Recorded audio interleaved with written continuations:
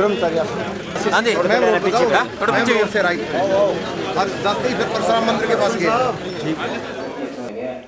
परिवादी के साथ आपका क्या नाम? तो आप पुलिस में हैं? आपने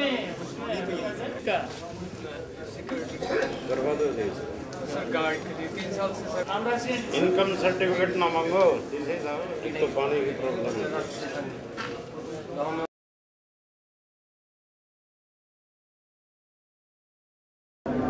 उपायुक्त जी ने चौदह बिंदु थे उसमें परंतु इसके अतिरिक्त सैकड़ों लोगों ने अपनी अपनी समस्याएँ रखी हैं और कुछ को हमने तत्काल निपटाया है कुछ को अगली बैठक तक अलग अलग अधिकारियों को वो समस्याएँ सौंपी विपक्ष का कल वो था, वो तो फ्लॉप हो गया। ना जन था, ना आक्रोश था। ये अपनी जो विपक्ष के भाई लोग हैं वो अपनी दुकानदारी जमा नहीं पाए। नरेंद्र भाई मोदी का ये जो डीमोनेटाइजेशन का जो कदम था, बड़े नोट बंद करने का था, इससे गरीब आदमी एकजुट होकर के और हमारे यशस्वी प्रधानमंत्री नरेंद्र भाई के साथ आकर के खड़ा हो गया।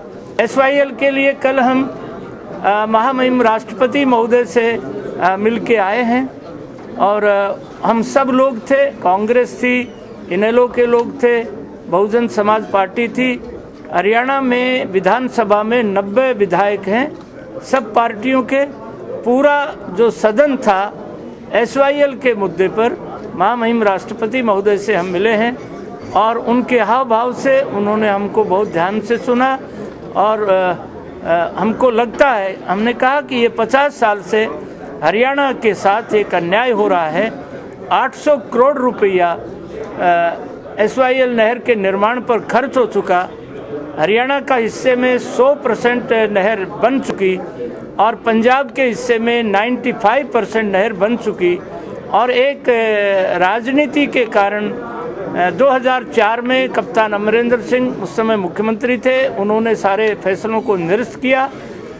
हमने अपनी समस्या का पूरा कि श्रीमती इंदिरा गांधी जब प्रधानमंत्री थी, उन्होंने अवार्ड दिया था। वो हरियाणा के हक में था।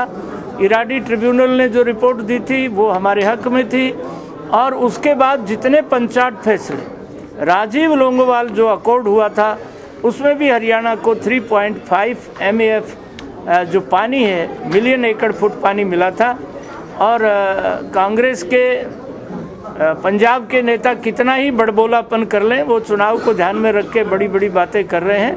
परंतु सुप्रीम कोर्ट के संविधान पीठ ने पाँच ऑनरेबल जस्टिस ने मिलके फैसला दिया है। हरियाणा की ज़मीन को अब पानी मिलेगा। आ, कोई आ, ऐसी वैसी बात नहीं हो सकती। कल राष्ट्रपति महोदय से मिलने के बाद हम पूरी तरह से आश्वस्त कप्तान अमरिंदर सिंह ने असंवैधानिक काम 2004 में किया था। आज भारत के सर्वोच्च न्यायालय ने उसको निरस्त कर दिया। अब कप्तान अमरिंदर इस्तीफा देने का नाटक कर रहे हैं और ये सब राजनीति कर रहे हैं।